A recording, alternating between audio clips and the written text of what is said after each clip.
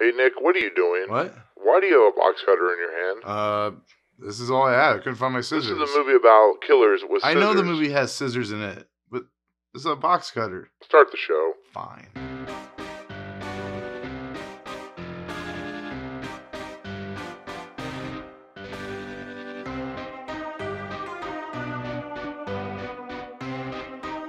What's up, guys? Welcome to Movie Emporium. It's movie review of Us, the newest film from director Jordan Peele. Stars Lupita Nyong'o, Winston Duke, Elisabeth Moss, Shahadi Wright Joseph, Evan Alex, Lupita Nyong'o, and Winston Duke. Let's see what I did there. Yeah. So this is a movie I've been anticipating for a while now. Ever since it got announced, I've been excited for this movie. It's the follow up to Get Out, which is my favorite movie that came out that year. Get Out is one of the best movies to come out in the last decade. It's very original, it's very Twilight Zone esque, and it has a lot of just political commentary about how people don't feel comfortable in their own skin, so they have to compose themselves into you know just other people and it's just it's really demented it's really awesome. Daniel kaluuya is awesome in it you know catherine keener bradley whitford all those people are good. You know it you've seen it you love it. So the hype for this movie is it's pretty it's pretty good this is a movie that might rival captain marvel in its third week because jordan peele not only won an oscar but he's known for being part of key and peele He's an amazing director. He knows how to do great horror, suspenseful, insane movies. And so we get Us, which is uh it's basically about a family who travels to Santa Cruz, which is this island slash beach area. And Lupita Nyong'o has had a bad history with Santa Cruz. Something happened in her past, which causes her to be meek and very quiet and very just introverted. She's very protective of her kids. Her husband is more outgoing, but she doesn't like to do things. And then one day they go to Santa Cruz, and her son, who's played by Evan Alex, he sees somebody on the beach who, you know, you see in the trailer, you know what I'm talking about. And then one night they see some some people out on the out in the driveway area. And of course, Winston Duke being the macho man, he goes out there and he's like, you want some trouble. If you got if you don't want any trouble, you leave. And of course, they don't leave, and then we find out that these are doppelgangers of the family, and they want something from the family, which I'm not going to spoil. I'm going to do a spoiler review for this movie because I feel it's really important to talk about that in a video when everybody's seen this movie. But this movie is interesting because it's doing a lot of top things that Jordan Peele likes to do.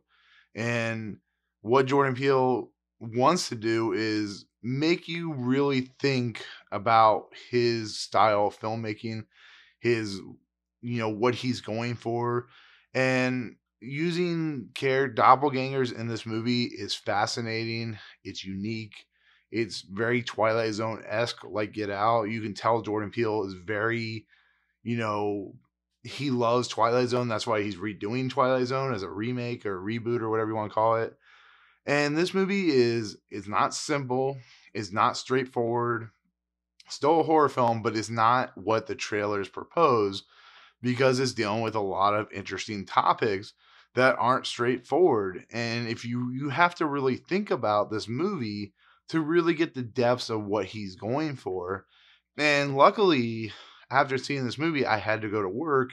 And as I started thinking, as I was working, I started thinking about this movie I just started realizing that the things he wants to talk about are insanely good in this movie. This movie just hits you like a gut. It hits you like a ball to the gut or a fist or whatever you want to call it. Like a just a, uh, it hits you so hard that you don't see it coming, and it's going to put off a lot of people because they want a straightforward horror film, and that's not what this is. This is a movie about a certain reasoning behind what Jordan Peele wants to tell and it, you know like i said i don't want to go i don't want to go into spoilers but it's it's a really good movie when you really get down to the basics of what it's trying to tell it's not i don't think it's as good as get out but i think the level of detail the level of camera work the level of uncomfortable ability that he's putting on here it's just it's mind-blowingly good and it just proves that jordan peele is one of the best talents in the market right now. He knows what he's going for. He knows how to tell it perfectly. He does it so good.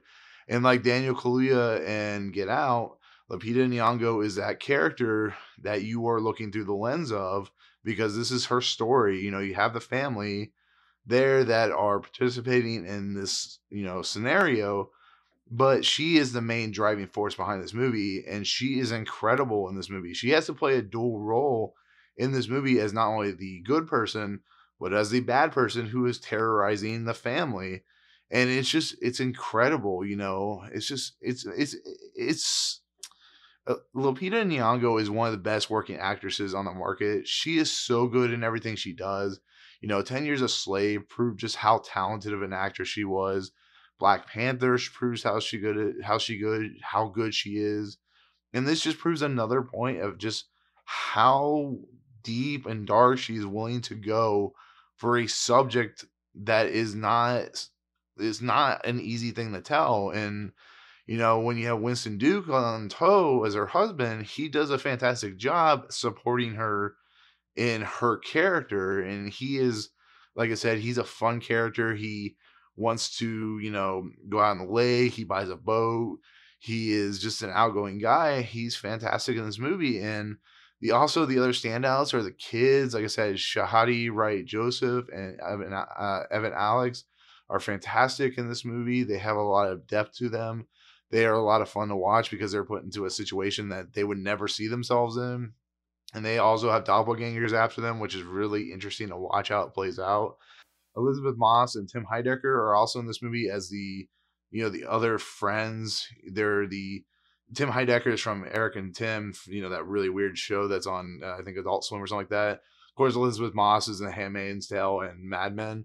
They're a lot of fun. They're not in this movie a whole lot, but, you know, it's always fun to see these two characters. And they have their idea and their story is a really fascinating look into kind of the being the you know, yin and yang to Lupita Nyong'o and Winston Duke's character.